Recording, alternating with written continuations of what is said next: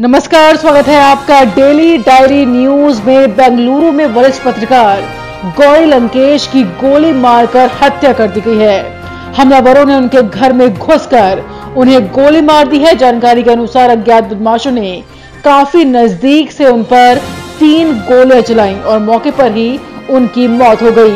वैचारिक मतभेदों को लेकर वो कुछ लोगों के निशाने पर थी। बेंगलुरु के पुलिस कमिश्नर ने इस वारदात की पुष्टि की है। पुलिस के वरिष्ठ अधिकारी घटनास्थल पर पहुँच गए हैं।